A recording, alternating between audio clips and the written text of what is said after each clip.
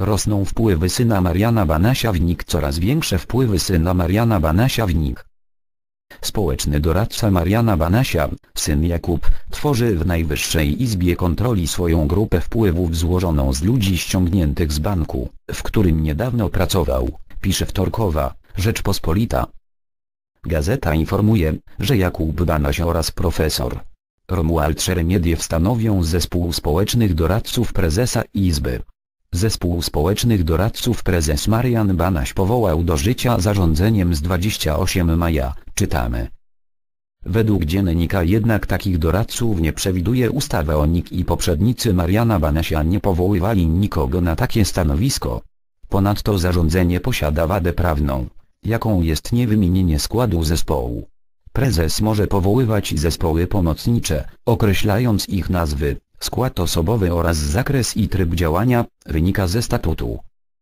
Kontrowersyjne uprawnienia Rzeczpospolita podaje, że społeczni doradcy spoza NIK posiadają szerokie oraz, zdaniem części pracowników Izby kontrowersyjne uprawnienia.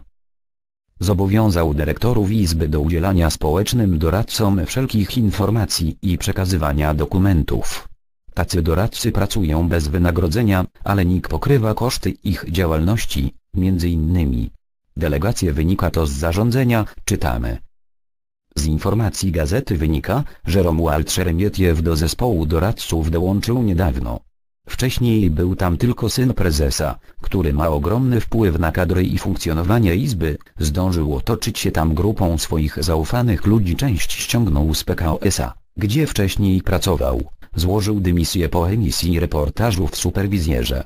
Ludźmi, których młody Banaś ściągnął do Izby z banku, są Jarosław Melmarowicz, obecny doradca ekonomiczny w Departamencie Strategii, Olga Józefczyk, w NIK została doradcą w Departamencie Prawnym i Orzecznictwa Kontrolnego, i Diana Gawełko, dziś w strukturach Biura Prasowego Biura Organizacyjnego NIK. Zaufanym ma być też były policjant CBŚP, podaje.